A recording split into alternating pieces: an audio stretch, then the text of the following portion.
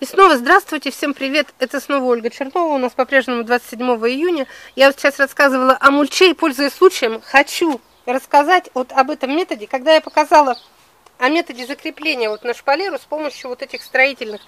Когда я показала, что я вот этими шпильками пришпиливала длинные переросшие томаты, вот так вот укрепляла, чтобы они именно в том месте поднимались, где мне надо, одна зрительница написала, о, так ими удобно будет это, ну как шпагат закреплять, чтобы подвязывать.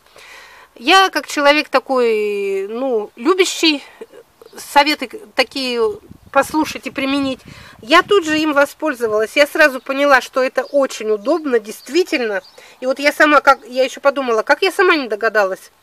И действительно привязать вот эту ниточку вот к этой шпильке, стоя, например, во весь рост, намного удобнее, чем я бы вот как буква «З» так загнулась, и каждой помидорке, каждой помидорке мне пришлось бы привязывать веревочку. Вы посмотрите, вот какие ряды, вот они нескончаемый ряд идет, идет, идет. Это мы, мне пришлось в таком положении простоять бы целый день.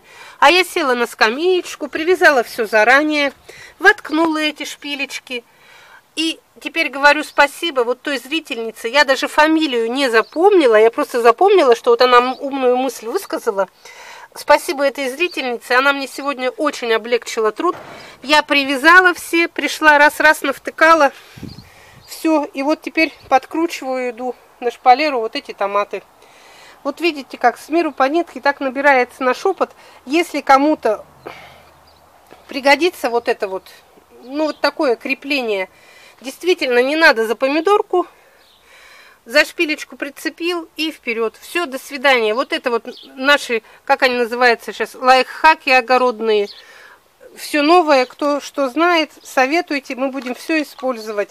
Потому что большинство огородников возрастные, я уверена, что спина болит у многих, и есть большая разница.